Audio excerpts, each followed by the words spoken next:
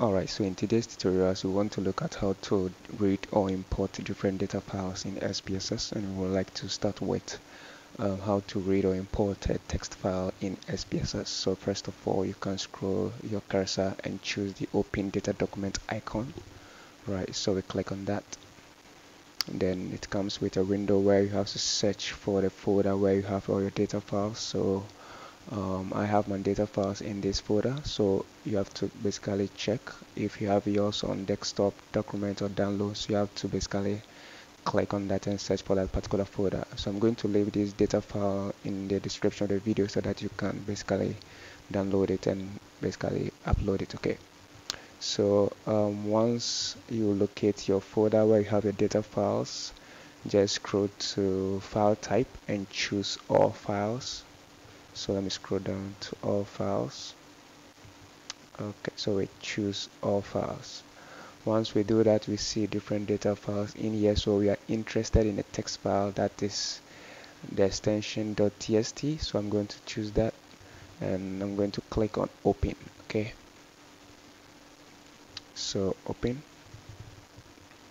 Alright so we have some instructions to follow before we can view our data set so this instruction says does um, your text file match a predefined format? You maintain it as no. Okay.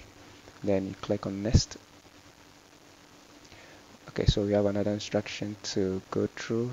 How are your variables arranged? Leave this as default.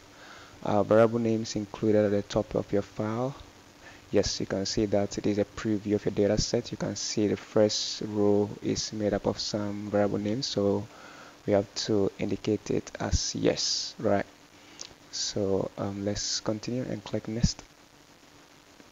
Um, in this session you can leave everything as default right and click next. Uh, also in here leave everything as default and click next alright so in here leave everything as default. Right and click next.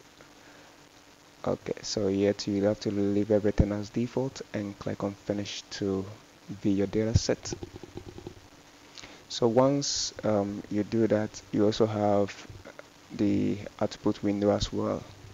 So you can see that it also comes as with the output window right where you can see most of the results from your analysis. So this is our um, the data set has been displayed in a spreadsheet form. So we can basically um, restructure this data set by going to variable view. Okay. Once you scroll to variable view you can restructure this. So let's give it a width the gender let's give it a width of 4 Okay. Then the columns let's make it 8 okay.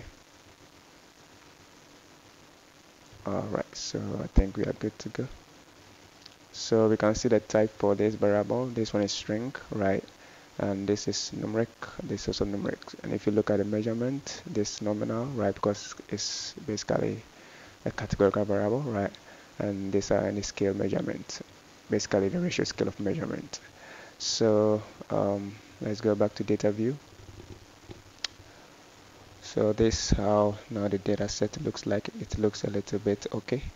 So this is basically how to read or import um, a text file in SPSS